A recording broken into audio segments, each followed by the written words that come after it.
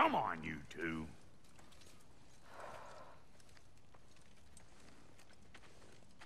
Not you. Got, got a few things to square with you. Second is that sigil magic I smell on your bow.